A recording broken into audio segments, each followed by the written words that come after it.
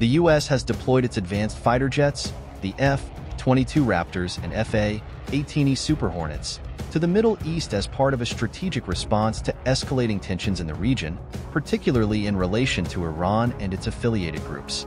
The F-22 Raptors, fifth-generation air superiority fighters, were initiated from Joint Base Elmendorf-Richardson, Alaska, with a stopover at RAF Lakenheath in the UK before reaching their destination in the Middle East.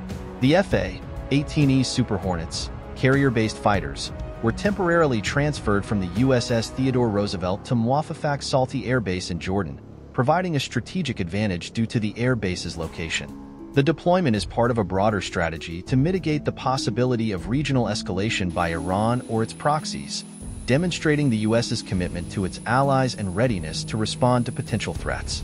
The presence of these fighter jets serves as a deterrent to potential aggressors and a reassurance to U.S. allies.